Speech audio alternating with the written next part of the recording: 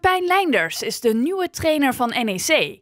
Leinders, 34 jaar, heeft een contract van anderhalf jaar getekend.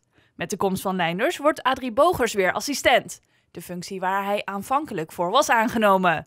De nieuwe trainer is de laatste elf seizoenen in het buitenland actief geweest bij FC Porto en Liverpool. Het gevoel om, uh, om, uh, om daadwerkelijke leiding te hebben over een elftal naar jaar assistent was uh, dat, dat, gevoel was dat overwonnen als het ware.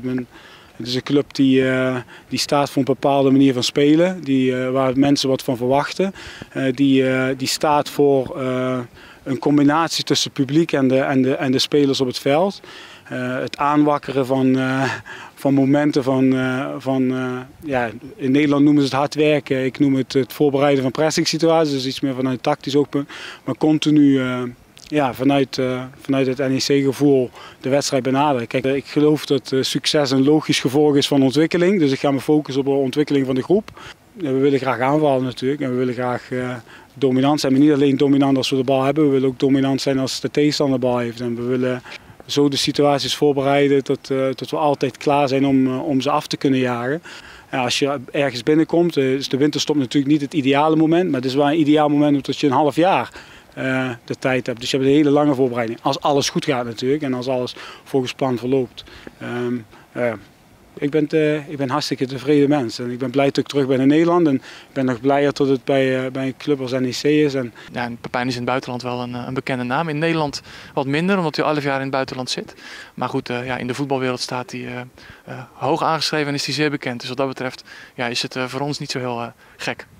Um, nou, het is een, een, type trainer die uh, um, vanuit het verleden um, ooit de basis heeft gelegd als individuele trainer uh, en persoonlijke ontwikkelingstrainer van spelers. dus komt echt van origine vanuit academie en het ontwikkelen van spelers uit de academie.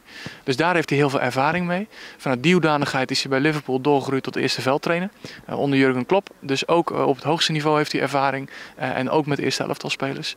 Dus eigenlijk in die hele lijn past dat perfect bij het plan wat wij hier graag willen gaan uitvoeren. Er is uh, um, ja, tot 1 september veel onrust geweest, 27 spelerswisselingen. Ja, en ik denk dat Adrie met zijn staf uh, een fantastisch fundament heeft neergelegd waarop Pepijn nu kan verder bouwen. Um, waarbij we wel altijd de opening hebben gehouden om te evalueren en vooruit te kijken. En dan te bepalen wanneer is het moment om uh, dit eventueel te doen, als we het doen. Um, of gaan we op deze manier verder. En dat doen we in alle openheid, dus dat hebben we nu ook gedaan. We willen natuurlijk graag, ambities zijn hoog. Dat zou ook moeten bij club als NEC. En dat, dat, dat is een, een druk, maar dat is een druk met privilege. Omdat elke topsport is op zoek om, om echt te presteren.